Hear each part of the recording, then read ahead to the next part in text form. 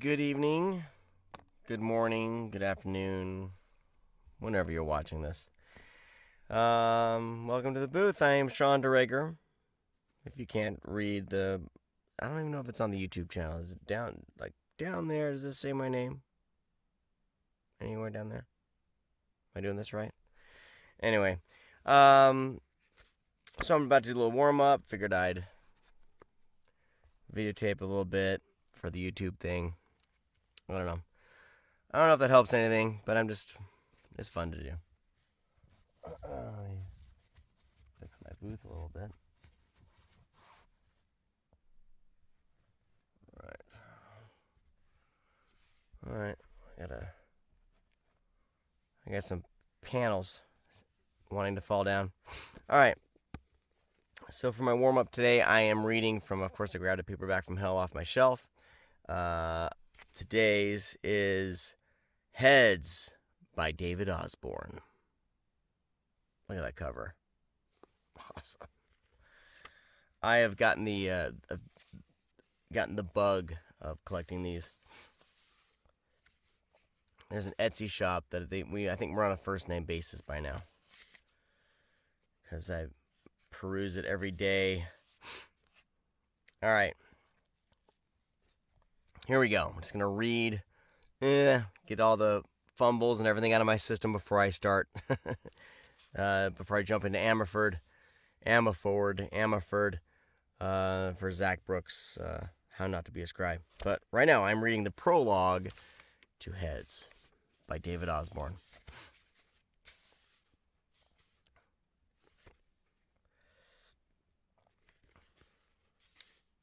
Nighttime. The faint smell of antiseptic. The hospital's PA system, a muted whisper in the light dimmed corridors. Nurses' stations, silent islands.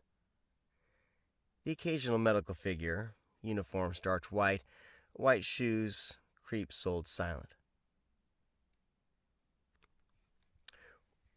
Huh. White shoes, creep sold silent. The man in room 203 in the West Wing was dying of cancer of the pancreas, which had spread to his liver. Neither radiation therapy nor chemotherapy had been able to halt the carcinoma's relentless progress. Carcinoma? he had a week to live, at best. And he knew it. This morning he'd been moved to a private room. He was bone gaunt, his hair thinned, almost to nothing, and lifeless. His skin was yellow, and his hollow eyes were dull with hopeless resignation. All afternoon he'd stared out the fading green of September. All afternoon he'd stared out at the fading green of September trees on the hospital lawn, wishing it were October so he could see the leaves changing to red and gold a final time. He didn't recognize the doctor when he came in. Nor the woman, apparently also a doctor, from her white coat and the stethoscope thrust casually into a side pocket. He'd never seen either before. The doctor pulled a chair close to the bed.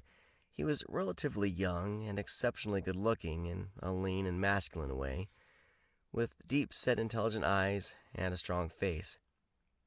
His manner was quiet. He looked tired and overworked. The woman, also young and looking equally tired, stood back, respectful and attentive. She was slender and quite beautiful, actually, with delicate features and amber eyes, and had tidying hair swept back into a loose chignon. Dang it. What is that? Chignon? All right. The soft aroma, the, the soft aroma of her perfume. Bleh. So you got to get all these stumbles out before I start recording her. The soft aroma of her perfume reached the dying man. For an instant, his eyes rested on the gentle swell of her bosom beneath her white coat. She was life where he was death. The doctor introduced himself. I'm Dr. Michael Burgess. This is my associate, Catherine Blair. We're with the Borg Harrison Foundation Research Lab in Bethesda. Can we talk a moment? Without waiting for an answer, Michael opened an Michael opened a folder containing biographical information. The dying man had an IQ of 138, a master's degree in social a master's degree in social anthropology, a doctorate in political science. He was going to leave behind a wife of 20 years and two daughters in their teens. He perfectly fitted their research needs. Michael pretended to study the material, although he'd gone over it many times. it was to give the dying man a chance to get used to him. Although, usually, the magic name Borg Harrison put potential volunteers at ease. I think that's me sarcastic. Presently, he said, I know you know how sick you are, so I'll come directly to the point. What would you say if I offered you a better than even chance to live at least another two or three years? The dying man looked back blankly. Michael was used to that. They all did. He said, Do you understand me? We are quite certain we can keep you alive. The hollow eyes flickered with sudden anger. Is this some kind of joke? Michael rose to look out the window. Occasional street lamps made islands of pale light amid the dark shadowed lawns and trees surrounding the hospital. He said, Hardly. Although I have to tell you that you will no longer be mobile. Not the way you are now, unable to get up and move about. You would have no further uncontrollable.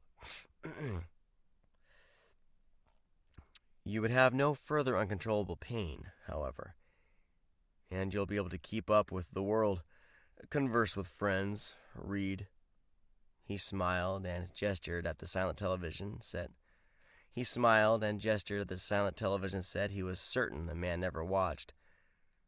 Share other people's lives. We're running a brain research program in which we'd isolate your body and your cancer from your brain in a neurological blocking process that prevents the cancer from met- metastasizing. prevents the cancer from metastasizing. There was more, but he usually tried to stop there. With the layman, you had to be careful. You could only go so far. Occasionally, one would ask about food, and he'd tell them they'd received everything, everything they needed through total parenteral, parenteral nutrition. Amino acids, glucose, proteins, minerals, insulin, all dripped into a main artery at the rate of 20 drops per minute. This one didn't ask anything else. He was too concerned with his death. He said, It sounds like medical double talk. But the anger was gone now, the tone different. Hmm, was I too angry there? He said, It sounds like medical double talk. But the anger was gone now, the tone different. Michael recognized the change. The patient suddenly wanted to believe. I'm sure it must, he admitted. But who knew a few years ago they'd be able to create human life in test tubes? The hollow eyes focused on him again. Okay, but why me as one of your guinea pigs? That's what you're saying I'd be, aren't you? An experiment? There are thousands like me, and you can't have much success. I've never heard of this, and in the last year I've read nearly everything going on. And in the last year I've nearly read everything going in medicine. Michael knew the speech had taken enormous effort. The man had to feel nauseated, desperately ill throughout his whole body and numb with the drugs he'd been given to combat the agonizing pain. Talking at all, even talking at all, even just saying a few words had to be nearly impossible for him. Two reasons, he replied. First, we only accept people on the verge of death. Second, the program is limited to under certain governmental security restrictions. Well, hold on. Second, the program is limited and under certain governmental security restrictions. Where you personally are concerned, to be frank, it was pure chance. You came up on a inter-hospital computer. For the first time, Catherine Blair spoke. Her, vor- her voice, her voice was softly authoritative. Your chances are over 80% in your favor, if we move immediately. The dying man saw her exchange a look with the doctor. She seemed to hesitate. Well, go on, he said. You may have time. I don't. He wondered fleetingly if, in spite of his professional assurance, the woman might be stronger than Burgess. Her more pragmatic to complement his more pragmatic to complement his possibly greater idealism, or perhaps more ambitious. In a quiet way, she almost seemed in charge. Michael said, Okay, here it is. If you agree to this, you won't be able to see your family again, or current friends, ever. They will have donated. donated? They will have donated your remains to science, and they'll be told you died, and will be given a sealed coffin. He got the reaction he always got breath held silence, eyes wide with shock. The thought of immediate and irrevocable and irrevocable the thought of immediate and irrevocable separation left all of them as frightened as the The thought of immediate and irrevocable separation left all of them as frightened as death as of death itself. But almost at once he could see some of the blow ebb and a glimmer of hope reappear. Again, from experience, he could guess the dying man's thoughts. Stay alive for another two years, and who could know what might happen? Perhaps finally a cure for cancer. It was exactly what the man was thinking. He glanced at the woman doctor. The smile she gave him was filled with care. He suddenly felt safe with her. When would it happen? he asked. Is it surgery or what? Some of it is surgery, she replied. She was closer now and put her hand over his. Her touch was cool. And if we do it at all, it's got to be immediately. Tonight. You're going to need all the strength possible. And from now on, you'll go downhill like a toba- toboggan. Toboggan! And from now on, you'll go downhill like a toboggan. Something hard like iron grabbed at his heart. Again, his breath wouldn't come, or words. Tonight? No, it was impossible. He tried to think. Death was right there, a dark presence just by his head. The awful terror of not being anymore. The black, non knowing forever. No words could describe no words could describe it. Every dawn now he poured sweat and stifled screams and prayed for a coma. He didn't want to know the final moment. He said, Whenever you want. Michael nodded and took a printed form from the folder. I'll need your signature. He didn't read it.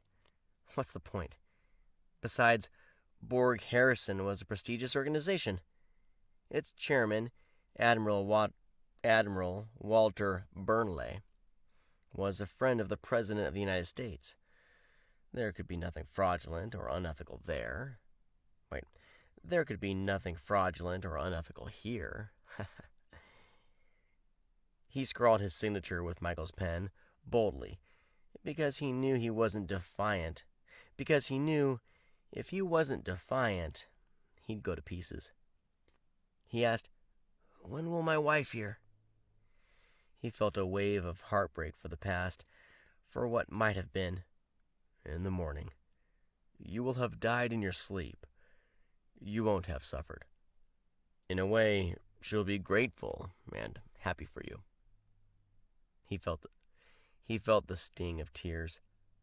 Michael rose. We'll be back in an hour. The warm pressure of his hand, his quiet smile. this author has some like weird sentences. I'm like, uh, that's a sentence. That's the sentence. The warm pressure of his hand, his quiet smile. The door closed behind him and Catherine Blair. Only a trace of her perfume lingered to say they'd ever been there. It was done. Minutes ago, there had been nothing but the black despair of inexorable ju- injustice, the ine- the inevitably, the inevitable, inevitable, inevitability, the inevitability of death. Why? Why him? Now suddenly there was hope. A nurse gave him a shot. He thought of his wife again, her love and courage, hiding her agony. To end her misery tonight was the last thing he could do for her. He thought of his daughters, the lives before them. He'd given up hope that he'd ever know of their accomplishments and dreams college, young men, weddings, grandchildren. But now, possibly, he would. He stared at the dark rectangle that was the night window of his room. It was as though death had been sent to wait outside. He ceased thinking about others then. He began to think only of himself. He didn't have to die. He might live. He just might. He felt as though a miracle had happened. Pretty soon, some nurses came with a stretcher to take him away. All right, that's the prologue to Heads. What is going to happen? What is going to happen? Are they going to take his head? I don't know. I've never read the book. I've only seen this cover in Grady Hendrix' uh, wonderful book, Paperbacks from Hell, which you should buy because it's awesome and um, and then let's all keep these paperbacks alive. So I want to do. Um, speaking of that, I hope to have some cool things to announce for for next year soon. Working on some things. Working on bringing more uh, books like this to audio, which is kind of like would be like my. I would love to be doing like only that, but um, I, I want that to be a big part of what I do. Is kind of narrating these um, older books. So I got some of that, some things on the burner, and um, right now I'm working on How Not to Be a Scribe by Zach Brooks, and then I'm also working on Gods of the Dark Web by Lucas Mangum, and uh, so those should be out. I'm hoping hoping to have them narrated and done by the end of the month, which means probably mid January or early February they'll be hitting Audible, the way Audible works, and I got to get them, you know, the authors to listen to it and approve it, and has to go through the proofing and editing and all that. But um, that's what I'm working on, everybody. So it's been an awesome year. I'll probably do one more of these before the year ends, but I do want to thank everybody for watching and for uh, giving a shit. Um, this has been a, a tough thing to kind of try to get, you know, get going on, and I've really had some luck with some of these projects I've gotten, and um, and the amount of books on my plate for next year is just humbling. So hopefully I get to all of it uh, as quick as I can. Because like many of you know, this is my like my even my second job in a sense. I do have the day job and those responsibilities, and then this is all kind of trying to fit this in around that um, uh, until things make sense for me to you know, pursue this full time. But that's a ways away. Um, all right, I'm signing off. Talk to all of you later. Uh, track down some 80s paperback books, everybody. Show me pictures of them. And of course, check out that book, Paperbacks from Hell. And Valancourt has a little label because they put out the Paperbacks from Hell book, and then they've been putting out their own. They've been re-releasing some of these paperbacks. Um, so check those out too. And then, uh, oh, and then Out for Blood should be out. I'm thinking mid January. Out for Blood will be hitting audio. So that's not it's not technically not a paperbacks from hell on that Valancourt label, but it totally is from 1991 in my book. Uh, it's a paper it's a paperback from hell. so, all right, I'm done. I'm done rambling. Thanks for watching.